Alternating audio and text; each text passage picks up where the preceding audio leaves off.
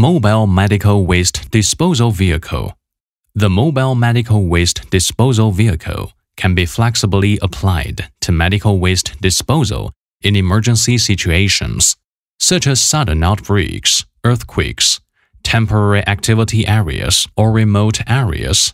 It adopts world-renowned automotive chassis, integrating automatic feeding, shredding, microwave disinfection, automatic discharging, and exhaust treatment systems.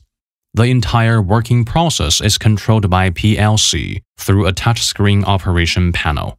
Plug and play runs fully automatically. Self-powered configuration is optimal. Highly automated, integrated structure, environmentally friendly, allowing it effectively respond to various special emergency situations. Contact Li Ying Technology Company now for professional service.